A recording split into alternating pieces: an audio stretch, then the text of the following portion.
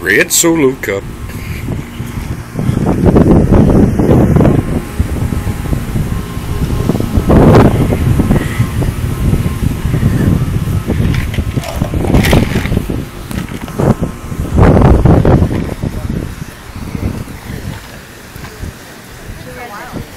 Oh.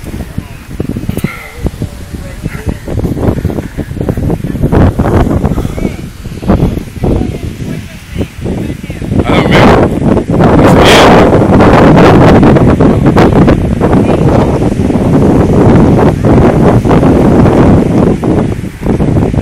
Hey Brian, they want to know uh, the name of the Victoria's old boyfriend with the red hair dude or whatever.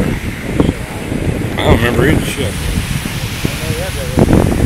I, I never heard of him.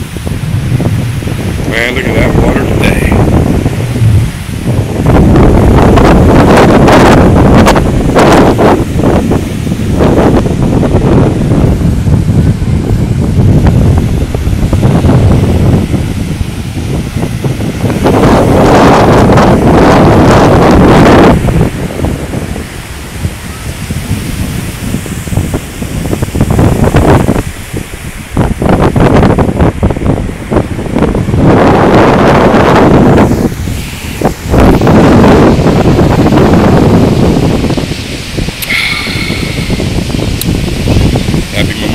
folks.